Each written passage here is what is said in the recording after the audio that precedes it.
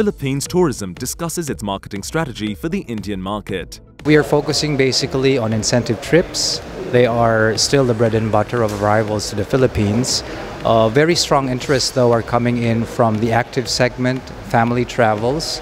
Uh, we do have a huge uh, sector or segment of uh, weddings that are being done in the Philippines, and we are very much looking forward to furthering our efforts in informing the public about uh, further options for family holidays in the Philippines and matching it up with gaming.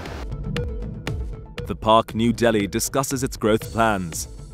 The hotel is growing at a constant pace and uh, last this financial year which we are closing right now we have shown a growth of 9% and uh, moving forward uh, the first quarter of this month uh, this year has gone very well and we are expecting a growth of 12 to 14% for this financial year as such.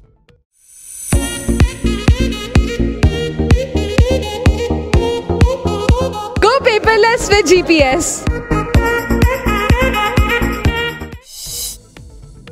The Indian outbound market is setting new benchmarks every year. Here's a look at the ongoing outbound trends.